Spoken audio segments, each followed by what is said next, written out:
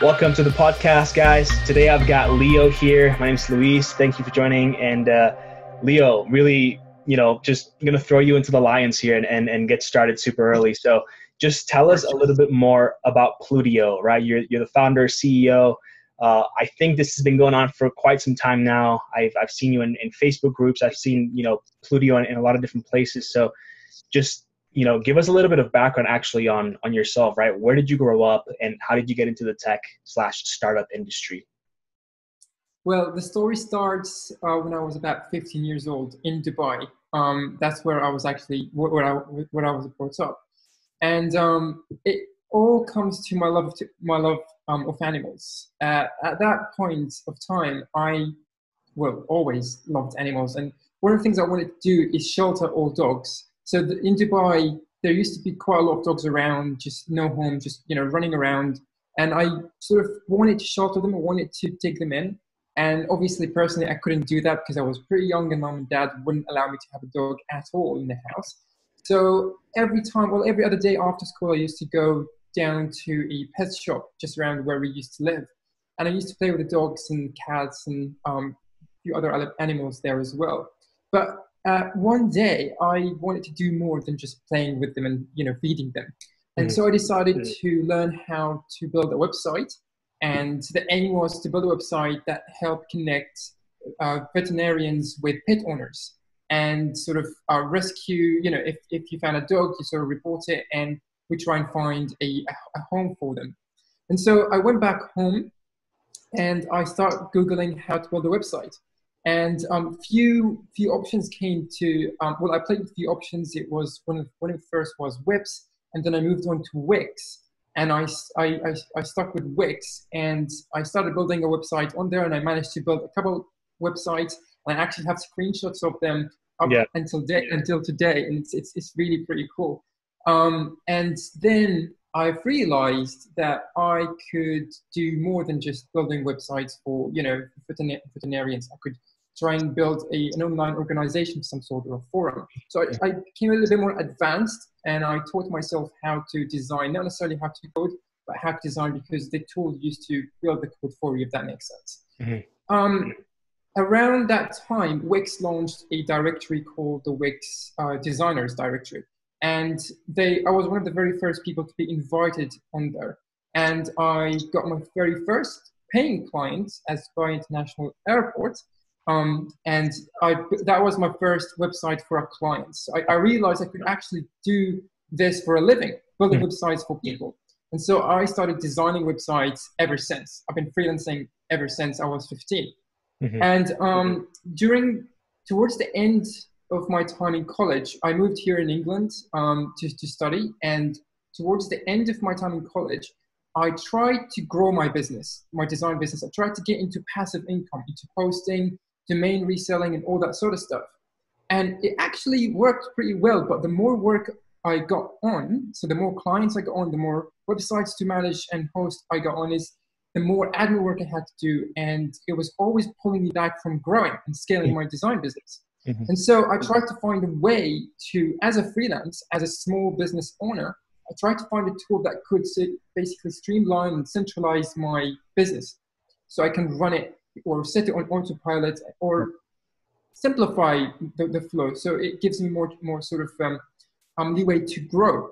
Mm-hmm. And I couldn't necessarily find, I couldn't, I couldn't find anything sort of dedicated to us freelancers and small businesses. Everything was, was about teams and team collaboration. You know, think Asana, Basecamp, Trello, everything you can think of out there was about team.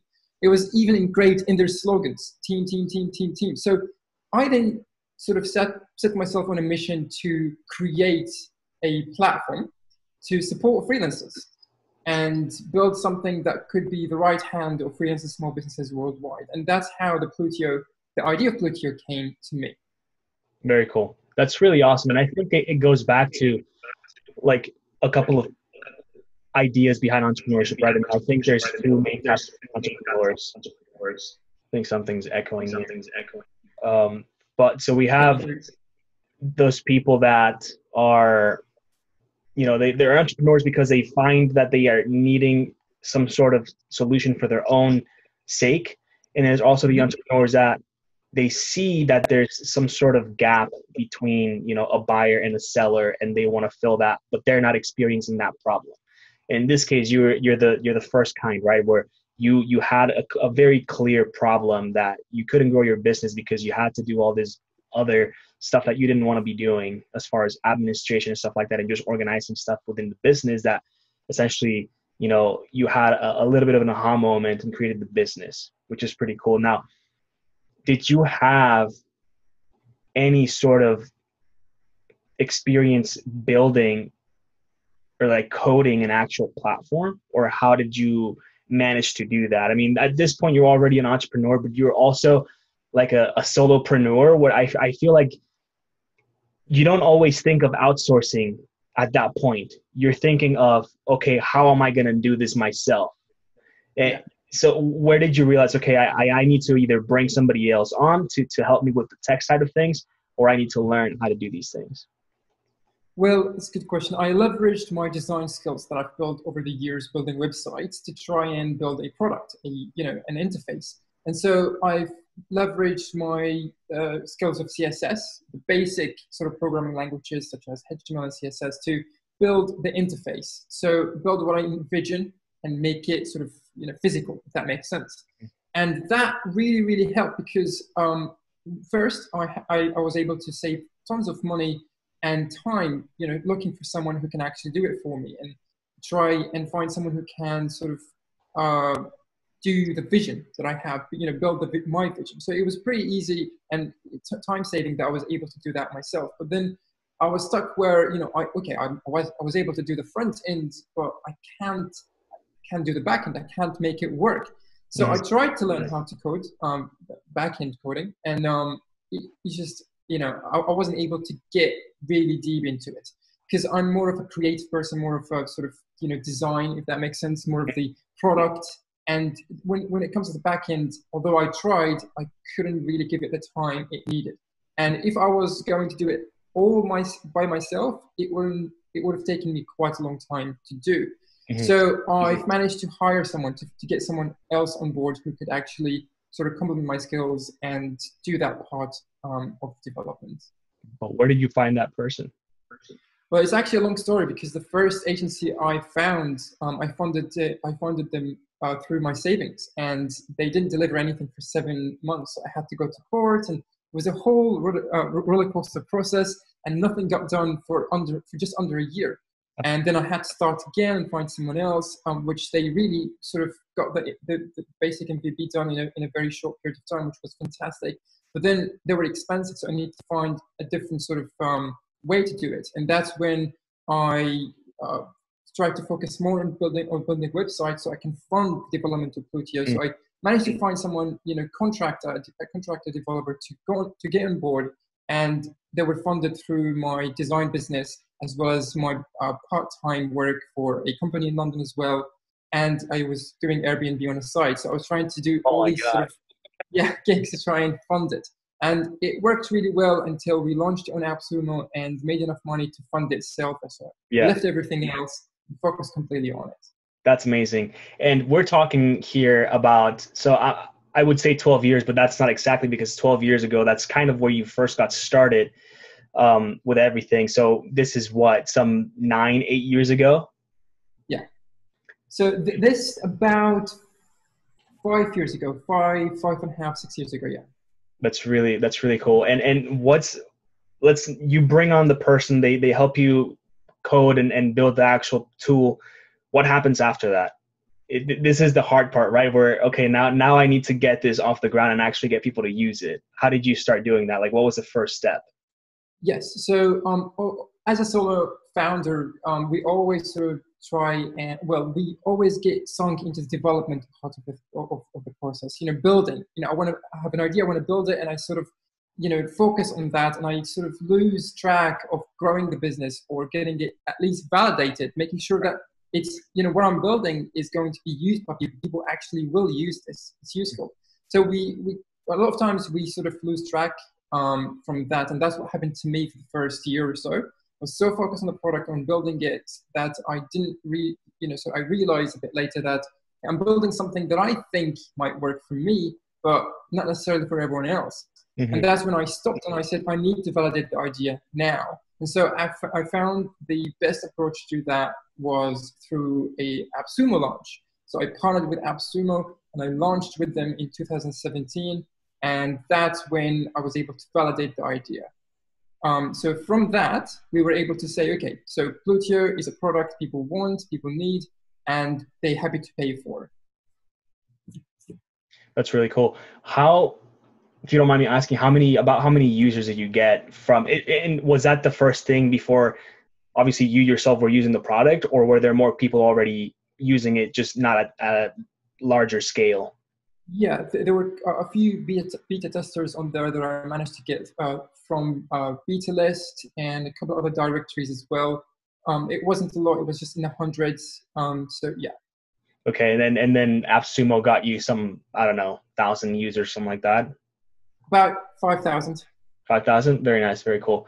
And and okay, so you validated the idea. What happens after that?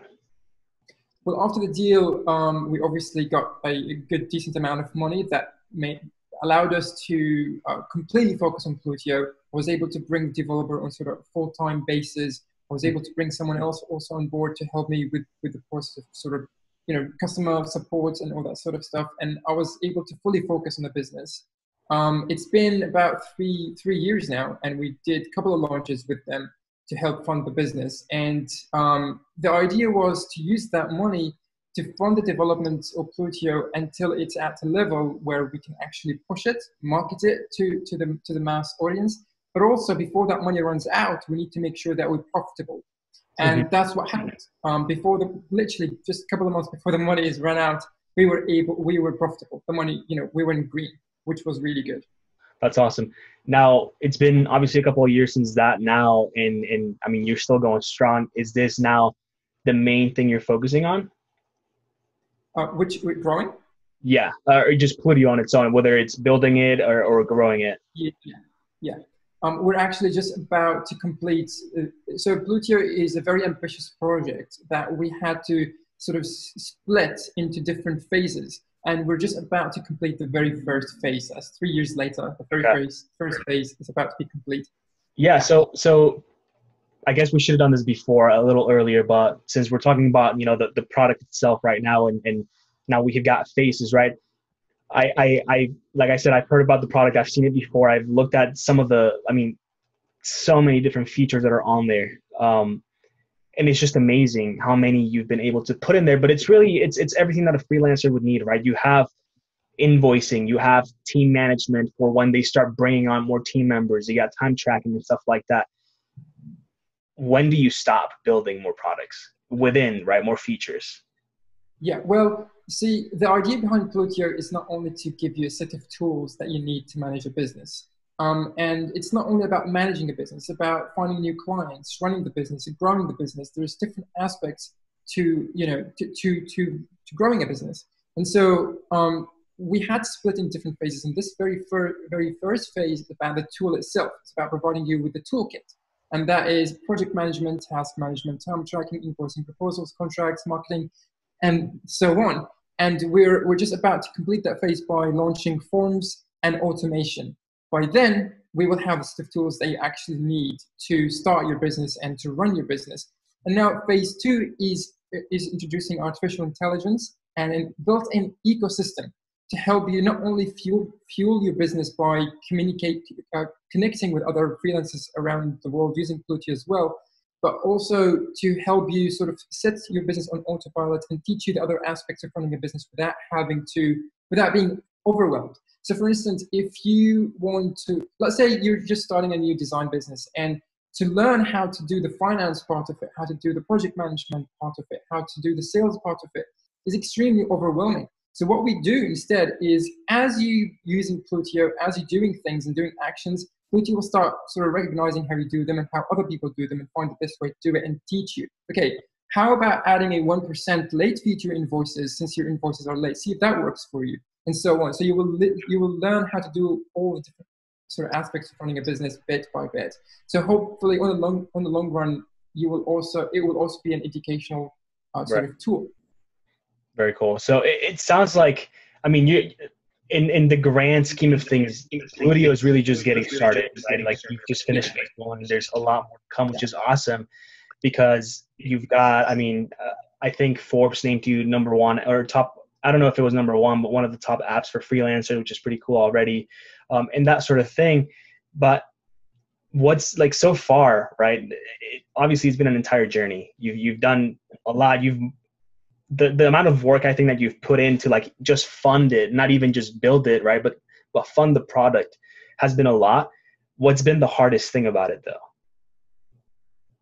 Uh, the hardest thing for me was uh, knowing when to stop making it perfect when it hmm. doesn't it doesn't need to be at that stage. Mm-hmm. You know, I'm a pixel perfect freak, and I had I redesigned certain elements a million times to make sure they actually you know, they they work perfectly everywhere and they look really good. So if I didn't do that, I still would have had a good product, um, but it would have taken me less time to develop. But um, yeah, that was one of the hardest things is because I'm a designer and I had to do all the different all the different sort of parts of the business, and it was very hard to know when to stop.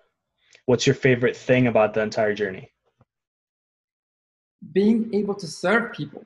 Mm-hmm. To be honest, to, to, to have built something that people find beneficial, people use on daily basis and rely on mm-hmm. that makes me feel amazing. That's that's yeah. just a great feeling I can't explain. Yeah. How how many users do you have now? If you, if you don't mind asking. I think yeah, I'm gonna guess just from the numbers that we've talked. I'm, I'm I feel like I'm gonna be completely off, but I'm thinking seven thousand maybe. It's about twenty thousand. Wow. Okay, I was way way under.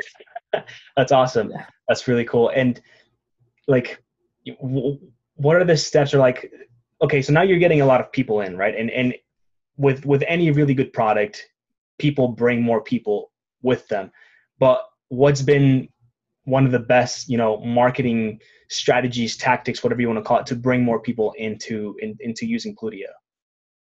Well, the, the fact is we haven't done any paid marketing as of yet. It's actually mm-hmm. something we're looking into as we speak right now. It's something I'm, I'm looking into uh, right now. But what we did before and worked really well for, for us in terms of growing the business is the community. We focus on building building a community around the product. So we build a Facebook group and we try to invite everybody who signs up to Plutio into the group. And that's where they, you know, basically get sold by the help of the community members, by other fellow customers. So the community truly was one of the sort of uh, growth engines that worked yeah. really well for us and still is but obviously there is so much that you can squeeze out of it you can't use it forever and unless you can grow it grow it and grow it but you know it's if you bring somebody into Plutio, they know a few other people, so they will bring them on, and so it's just the word of mouth that really helped us. Yeah, I, I definitely agree with the community sense of everything. I, I think it's just part of being a human and, and, and human behavioral and like psychologists, things like that. But essentially, I've seen it happen, you know, firsthand too, where I think you can really leverage the community for multiple things. Um, one of them being like customer service, uh, also aside from like acquisition and things like that. But like you said, once they're in there, they're gonna hear, you know, if people are generally speaking well of the product, they're gonna hear how good it is, the things that they've been able to, you know, accomplish because of the help of Plutio in this case. Uh, and ideally, just you don't even have to do any selling because once they're in there, they're if they actually need the product, they're very likely to convert. Correct. Just bear in mind, it can be a curse just as it can be exactly. So you make you make one mistake, and then you know you don't you don't even know where to hide. Yeah. Yeah. What would you say has been your biggest accomplishment so far with Plutio? Um, able to start something from nothing and into a product people love all around the world and use on daily basis. Mm-hmm. Um, you know, building a profitable business, um, I think it's an accomplishment what is i mean you like you're still very young right? And my my thought here is a lot of of people you know your age my age i feel like sometimes you you're always looking for that next thing that you want to to be doing or or you just see other people doing you know certain things that might excite you as well. Do you think you'd ever want to maybe build another product um or or just go a different route once i mean I, I, feel like you could potentially just stop here with plutio you know what i mean and like it's it like it'll keep going. You're at twenty thousand users, people are still coming in, but do you ever think, okay, like maybe I should be doing something else? What's the fun of standing still? Nothing. So it's always there is always new new ideas. Um, in when like I have heaps of ideas that I want to sort of um, work on, but it's prioritizing them. It's first getting Plutio to a level where it can support me and support my other ideas as well. So once that is done, I can then expand into you know new ventures and new ideas. Love but it. once that sort of you know foundations is established.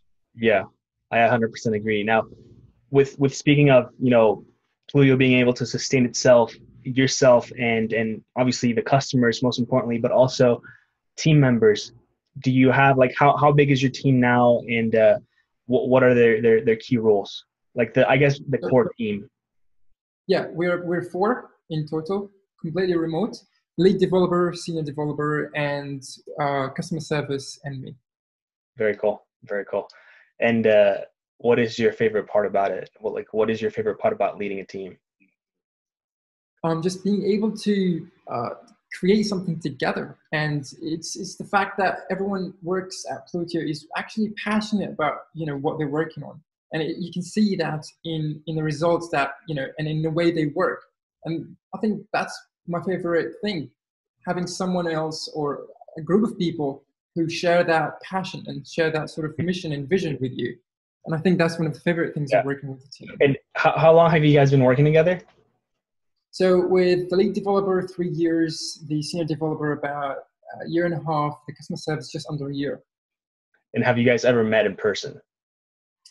Uh, only only the lead developer. yeah, it's crazy. I, I, think you know for for for software companies, it's always like you either I feel like you're either working remote completely or you're you're just not remote. Um, yeah.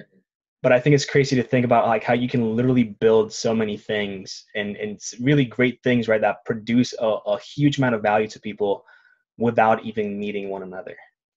I agree. Yeah. Do you ever want or or think about what it would be like if you weren't remote?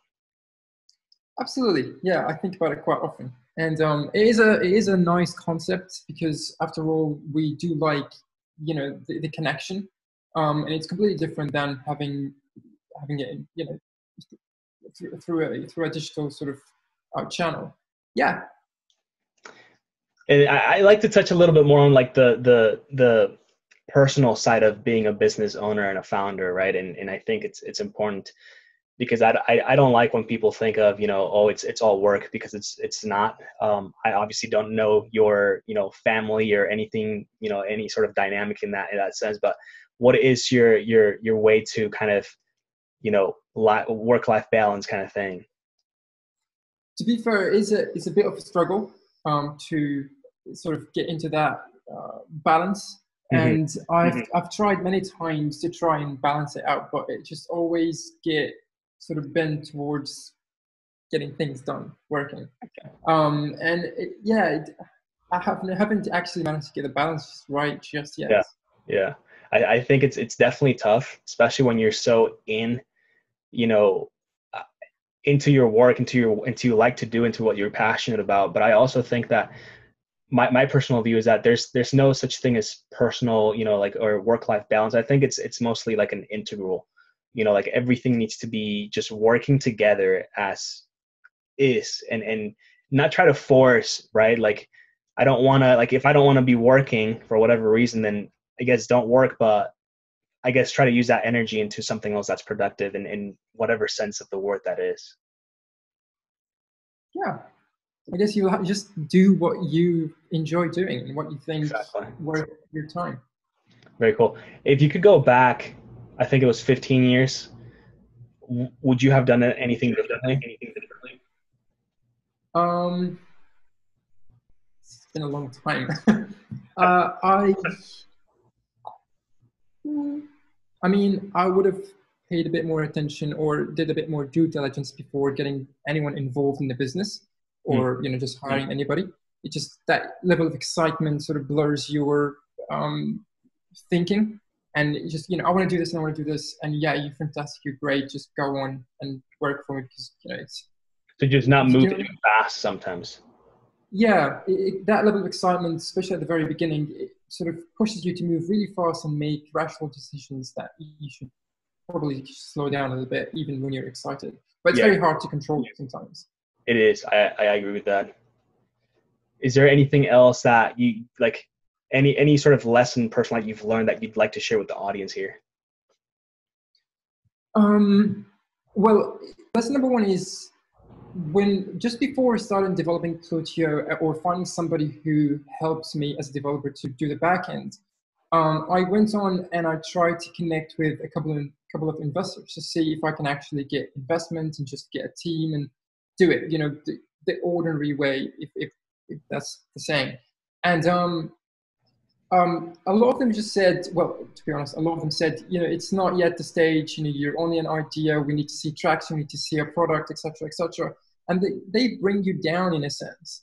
And um, if you have an idea, just try and learn and build it yourself, or build at least a level of it, so you can show it. If you can, you know, can physically show it to people, right. and instead of just running around wasting time trying to find investors. I mean, don't get me wrong, it works for some people. You know, you could get and raise money, and there are some ideas that actually needs funding to to to to get it off the ground but the mm-hmm. majority of ideas that you can build online. And to be honest, you don't necessarily need to learn code to build some of these ideas because yeah. now there's heaps of libraries and tools that allows you to put something together without having to write a single line of code. Mm-hmm. So try and find all the different ways that you can use or do or you know to, to build something before you go on to raising money or getting support from you know from other people if that makes sense yeah, I completely agree. I think people get too caught up on on needing to have some sort of capital to build anything where in reality, I mean I, I think now, right, especially with software, you don't you don't really need capital. I think you need more time than anything just to to sit down and actually do the work, whether that is I mean, if you don't have the capital, you technically can't hire out. Um, you could always give equity in the company, right? but also and have them do some of that work. But I think if you just sit down and like you said, there's tons of libraries. There's a lot of no code apps now that you can build stuff with. So I don't I don't think it's necessary to to be a, a programmer or anything like that by any means either. Absolutely. Now, yeah. In the software space, I feel like we we tend to to sometimes put companies in a pedestal, right, and, and look up to them and, and make them be these huge things. But with that being said, are there any software companies that you personally like to look up to and, and not necessarily to copy or anything like that, but just you think, okay, like they've done an amazing job, right? And, and what can I learn from them? Um, it's a good question. Not actually. Uh, I mean, um, the one that I can think of from the back of my head is uh, Hotjar. So the Hotjar company is a completely, almost completely remote team Mm-hmm. And it just it seems everybody's energetic and happy at what they do. And there's always, you know, there's always these uh, snapshots of the team on a, you know, on a, a trip somewhere or, you know what yeah. I mean? So although they're remote, they're always connected somehow. Yeah. And I would love to be able to do that, to build a, a sort of a large team sort of scattered all around the world to where, you know, wherever they want to work from, but they're all also connected at, you know, to, right. to, to a certain level. So yeah. Very cool. Very cool. Well, thank you so much, Leo, for, for being on here today. It's really a pleasure speaking with you and, and learning so many things that I didn't know about Plutio and how you built it. It's super impressive. Um, and uh, let's stay in touch. And I'd love to to hear more about how you know Plutio Gross. Absolutely. Thank you so much for having me. Welcome. And one last thing, Leo. Where can people find you online? um, on Twitter, Leo Bassam, or Facebook, um, and just go on Plutio.com, go on the About page, and you'll find the links there. Cool. Awesome. Awesome. Thanks so much, Leo, and we'll stay in touch. Take care. Absolutely. Bye for now.